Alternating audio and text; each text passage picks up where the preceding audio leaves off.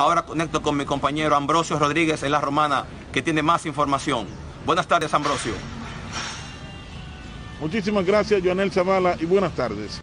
Aquí en La Romana, el presidente del Colegio Médico Dominicano, el doctor Neftalí Rijo, dijo que no se siente conforme con la visita realizada por el ministro de Salud, ya que según él, vino a hablar más de lo mismo.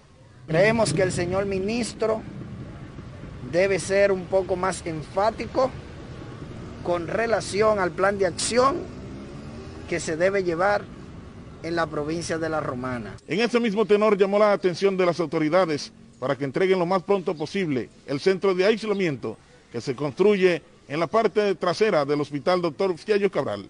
Al señor ministro, al señor presidente de la República, si fuese necesario, para que ya se entregue el área de aislamiento del Hospital Aristides Fiallo Cabral en La Romana.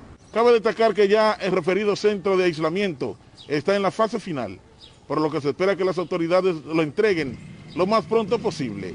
Por ahora es todo lo que tengo desde La Romana en la República Dominicana. Ahora paso con mi compañero Argelis Reyes, que se encuentra en Mayor. Buenas tardes.